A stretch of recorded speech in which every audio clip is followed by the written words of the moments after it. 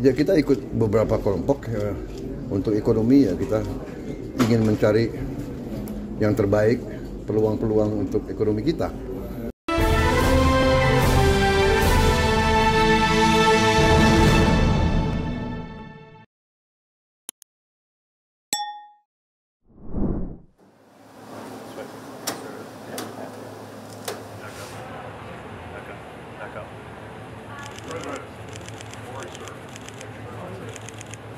Pak tadi pertemuan sama Menhan AS?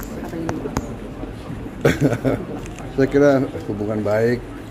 Saya sama beliau sudah bekerja sama lama ya. Hmm, ya kita bicara masalah-masalah yang saya kira yang aktual kerjasama di antara kedua negara tukar menukar informasi dan pandangan saya kira itu intinya Pak, ya mungkin tentang pertemuan kemarin dengan Joe Biden kan Presiden Amerika mendukung masuk OECD ya Pak. Ini gimana kedudukan Indonesia dengan adanya Indonesia juga mau masuk BRICS ini kan kedua organisasi yang berbeda gitu Pak.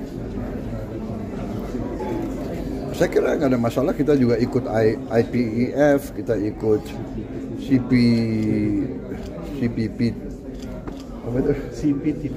CP, TPP, ya. Ya kita ikut beberapa kelompok ya, untuk ekonomi ya kita ingin mencari yang terbaik peluang-peluang untuk ekonomi kita. Kita harus memikirkan kesejahteraan rakyat kita kan. Oke? Kalau harapan Pak, Ya. harapannya gimana? sama Cina Selatan pak Itu apa gimana pak? Kemarin sama Gaza dan Cina Selatan sama Ya kita kita bahas itu. Ya, saya tetap menyarankan two state solution. Sebetulnya mereka juga setuju.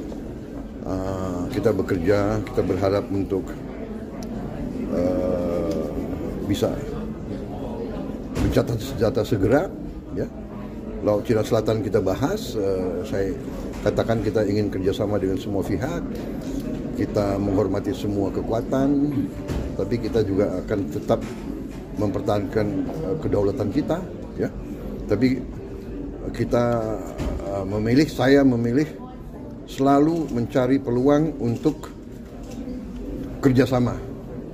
Saya percaya kolaborasi, kerjasama selalu lebih baik daripada uh, konfrontasi atau konflik. Tentunya ini harus diupayakan ya, tidak akan datang sendiri, harus ada upaya untuk membangun saling percaya, saling menghormati.